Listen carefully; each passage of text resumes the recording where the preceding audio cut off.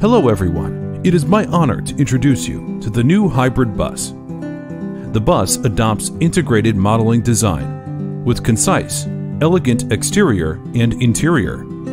It adopts Yutong's latest ReCtrl 4.0 technology, which can save 50% energy consumption at best, compared with combustion buses. Yutong's hybrid system has four technological generations from the first BSG technology to the current ReCtrl 4.0 XCVT. In the ongoing fourth generation technology, with 10 years research, it enables Yutong's hybrid bus with great energy efficiency, good comfort, and high safety.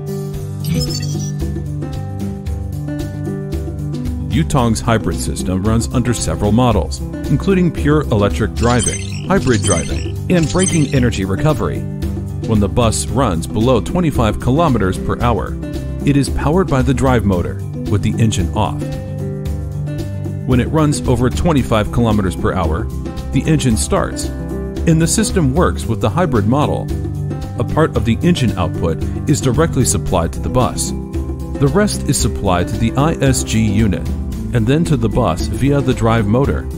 If the engine faces a power output shortage to keep the bus running, the supercapacitor will provide additional power supply.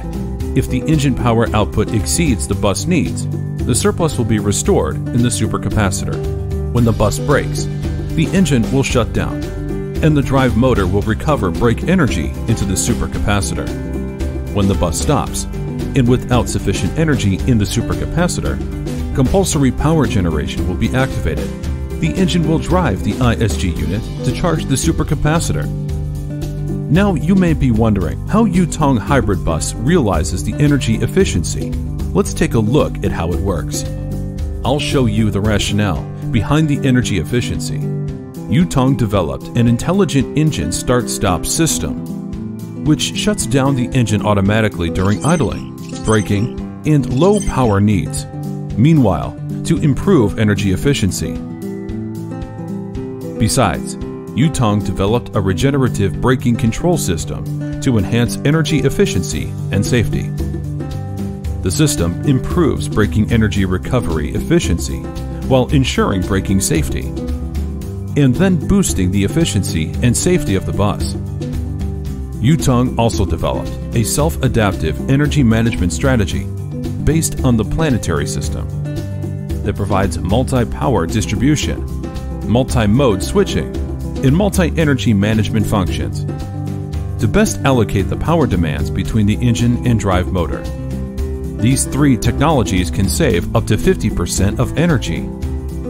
Compared with combustion buses, Yutong 12-meter hybrid bus operators can recover their investment within three to five years and achieve impressive operational revenue. In addition to its stunning energy efficiency, the XCVT hybrid system delivers continuously variable transmission without power breaking down during the driving and shocks during shifting to achieve a smoother driving with less noise and greater comfort for driver and passengers.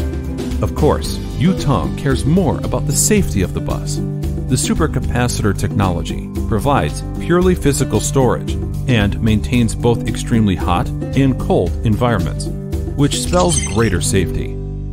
Yutong's hybrid buses have been delivered overseas in batches and performing well in different markets.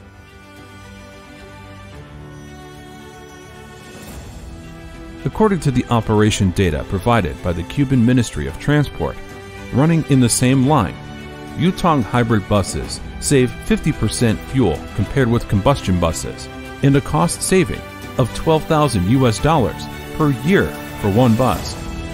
According to the operation data of Route 273 in Montevideo, capital of Uruguay, running in the same line, Yutong hybrid buses save 53% fuel compared with combustion buses and a cost saving of 17,300 US dollars per year for one bus.